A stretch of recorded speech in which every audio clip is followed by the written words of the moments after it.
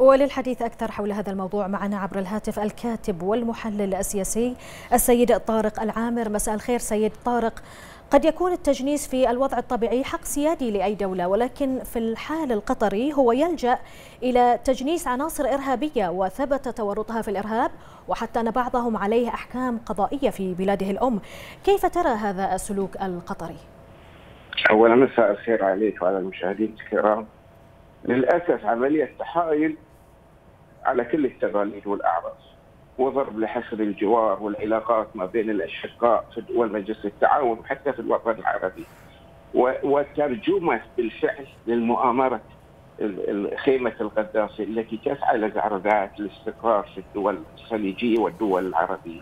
قطر هدفها من هذا الأساس كله تغيير الخريطة الديمقراطية في دول مجلس التعاون. تسعى إلى تجنيد وتجنيس إرهابيين عليهم أحكام صادرة في دولهم ومطلوبين أمنية كاعمال إرهابية بغرض استخدامهم كسلاح لزعزعه الاستقرار في تلك الدول وورقة ضغط وابتزاز. ظنا منها ان مثل هذا الأسلوب سيركع دول المقاطعة سيجعلها تتنازل وترفع المقاطعة. هيهات لهذا الشيء. نعم. قطر إذا كانت ان هذا الشيء. سيدفعها إلى الهروب من الاستحقاقات التي طلبت منها من دول دول المقاطعه فهي تتوهم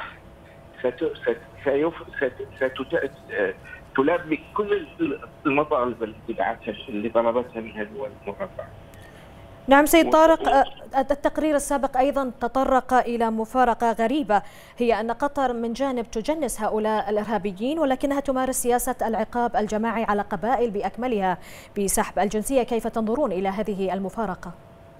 كل كل قطري شريف وكل الشعب القطري الآن خاضع للأسف تحت تحت يد هذا النظام كلهم رافضين السياسات التي تمارسها يمارسها النظام ضد اشقائه الخليجيين والعرب.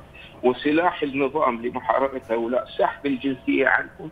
أبسط سلاح هذا ذلك سحب الجنسية عنهم وتجنيس آخرين بدلا منهم. وهذا العقاب عقاب لا انساني غير حقوقي لابد إن منظمات والمجتمع الدولي يعاقب النظام القطري على ذلك، ليس لك من الحق أنك تسحب الجنسيه، هو يحاول اظهار المشهد العام في الإعلام إنه جميع شعب قطر مؤيد للسياسة. والحقيقة غير ذلك، الشعب القطري يؤد تحت تحت هذا النظام لأنه رافض لسياساته، لا. يقبل لدولته ان تحط يدها في يد أعداء الأمة العربية والإسلامية وأعداء دول الخليج وهم يرون ذلك الشيء لكن للاسف للأسف غير قادرين على التعديل أو رصد الشيء نعم. لأن السلاح الموجود في إيد النظام أبسط سلاح هو سحب الجنسية ورميهم خارج البلديه وكثير من الشعب القطري للأسف الذي والذي محكوم من اهله وأشقائه وأقرب اهله والمجلس العام لا يستطيع أن ينطق أو يعبر عن رفضه لهذه السياسة نعم. سياسة النظام القطري. نعم الكاتب والمحلل السياسي طارق العامر شكرا جزيلا لك.